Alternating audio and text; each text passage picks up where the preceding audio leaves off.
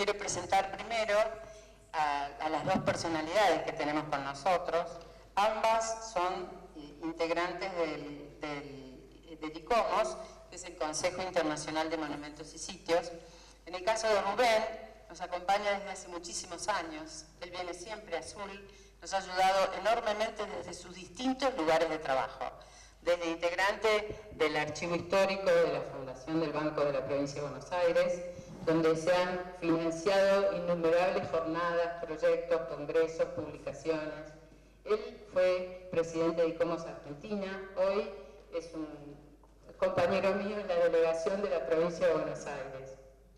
Eh, ya les diría que es asesor de la Comisión Nacional de Monumentos y Sitios, secretario de Infraestructura y Planeamiento Edilicio de la Universidad Nacional de las Artes, el IUNA, desde el 2000 hasta la actualidad se desempeña como profesor titular en Historia del Arte, profesor titular de Principios de Arquitectura y Urbanismo, tiene un extenso currículum y además es un gran amigo.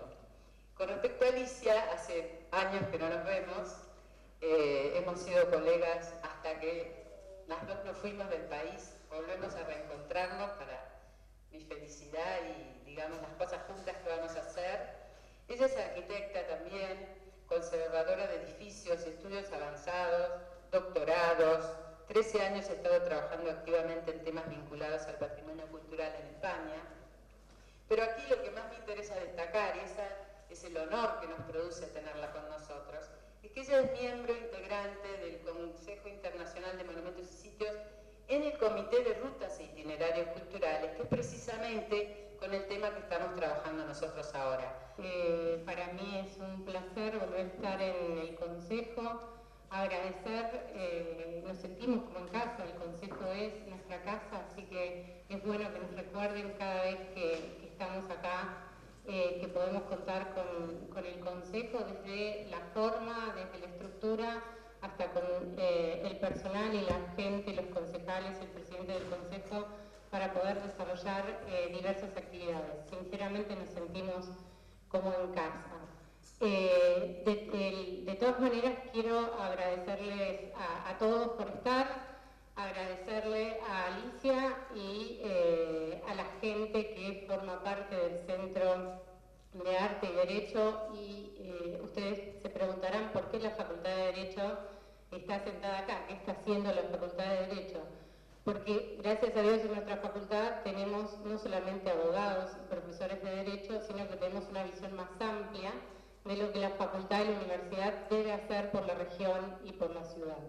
En nuestra facultad existe este centro donde lo componen no solamente abogados, como les dije hoy, sino otros profesionales que también son docentes de nuestra casa y a su vez participan de un centro de investigación que tiene su otra pata en la Facultad de Ciencias Humanas, que es el CIEP, y que a partir de ellos nosotros nos hemos encontrado eh, o hemos abierto la, estructura que llevamos los abogados eh, del mundo jurídico hacia otros sectores.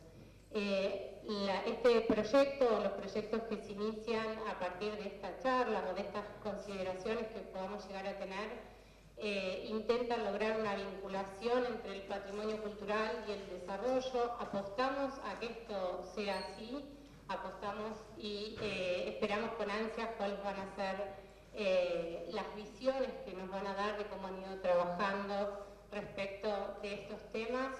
creo que siempre, así como dice Alicia, las propuestas son alocadas. Hay veces de estas propuestas alocadas salen los proyectos que logran que nuestra ciudad se transforme nosotros necesitamos transformar nuestra ciudad, Azul necesita en este momento es, me parece, a través de la investigación, de la pata académica de, esta actividad, es la posibilidad que la Facultad de Derecho se da de colaborar con este nuevo inicio de la ciudad de Azul.